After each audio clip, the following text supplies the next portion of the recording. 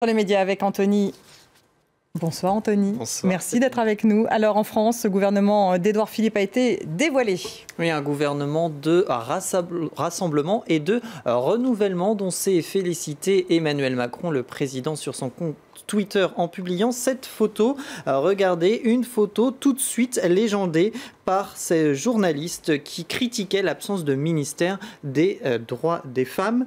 À défaut, c'est un secrétariat euh, d'État. C'était d'ailleurs l'une des promesses d'Emmanuel euh, Macron. Hein. Il y aura un ministère plein et entier des droits des femmes. À défaut, c'est donc un secrétariat d'État pour l'égalité homme-femme endossé par Marlène Schiappa qui a été choisi. C'est un choix qui a été regretté par plusieurs C'est le cas de ce journaliste, mais également déploré par plusieurs associations féministes comme euh, les effronter ou même oser le euh, féminisme. Un gouvernement qui se veut toutefois strictement paritaire puisqu'il y aura 11 9 ministres et 2 secrétaires d'État femmes. Pareil euh, chez les hommes.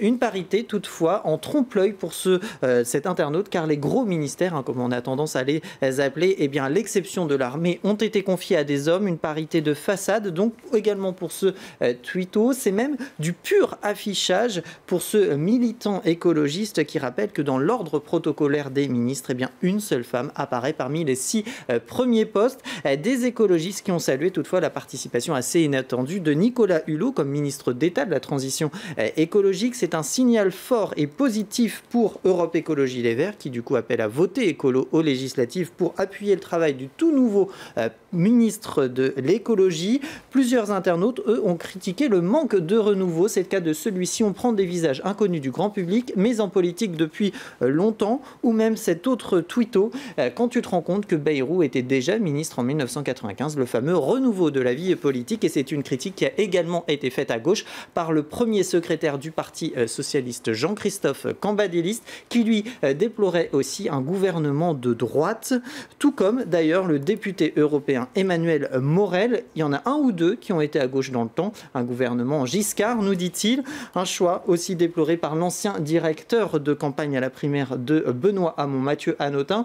Une, la présence de euh, Gérald Darmanin qui l'évoque, mais également de Bruno Le Maire ou d'Édouard Philippe à Matignon, a été également critiqué à droite par le secrétaire général des Républicains, Bernard Accoyer, euh, qui y voit un gouvernement de confusion et qui euh, les exclut de de cette famille politique. Bruno Le Maire qui a également réagi à cette exclusion sur sa page Facebook. La France vaut mieux que les partis. La France mérite mieux que les exclusions.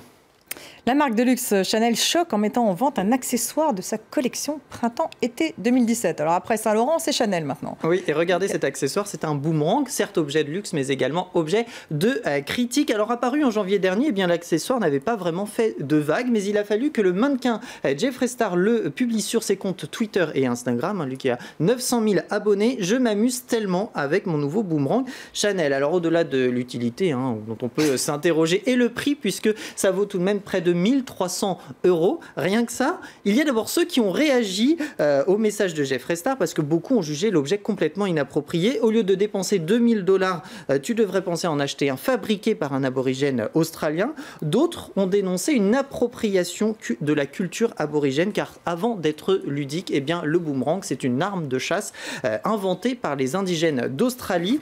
du coup, certains ont critiqué la décision de Chanel quand même Chanel essaye de dévitaliser ta culture, regrette cette internaute australienne, euh, un manque de respect pour cet euh, autre tweeto, cet essayiste issu de la communauté euh, aborigène et qui se bat donc pour défendre le patrimoine culturel, ironisait, elle, j'ai décidé d'économiser de l'argent pendant les trois années à venir pour me rapprocher de ma culture avec Chanel dans The Guardian. Elle juge d'ailleurs cette démarche de Chanel complètement absurde puisque cette communauté est la population la plus pauvre et la plus marginalisée du pays, estime-t-elle. Indigné également cet autre internaute qui espère au moins que les profits euh, des ventes iront aux communautés euh, aborigènes. Alors pas de déclaration faite en ce sens par la marque de luxe, qui a toutefois dans un communiqué dit respecter toutes les cultures et regretter qu'elle ait pu euh, offenser quiconque.